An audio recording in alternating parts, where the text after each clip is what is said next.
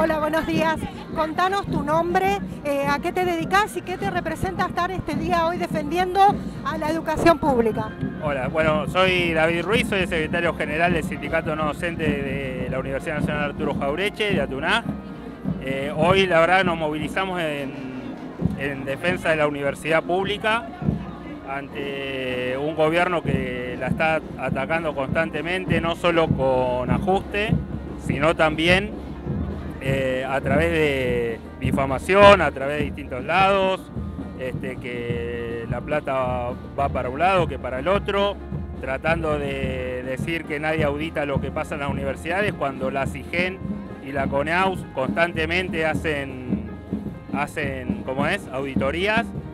Así que nada, tampoco da respuesta en lo que es la paritaria, no le preocupa que tengamos más de la mitad de los trabajadores por debajo de la canasta básica no le preocupa que las universidades no puedan funcionar como corresponde y ante esa falta de respuesta hoy sentimos la necesidad de expresarnos en favor de la universidad pública.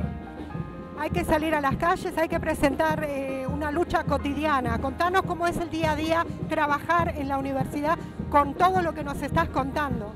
Y es muy complicado porque estudiantes ya no tienen becas eh, adecuadas para poder continuar con sus estudios.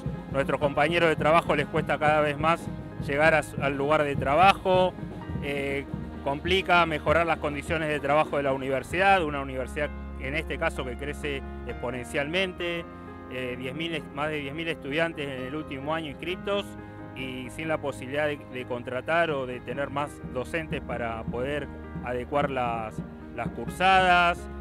no la luz, por ejemplo, el año pasado vino un poco más de un millón, una factura, y este año ya tenemos una factura de 12 millones de pesos.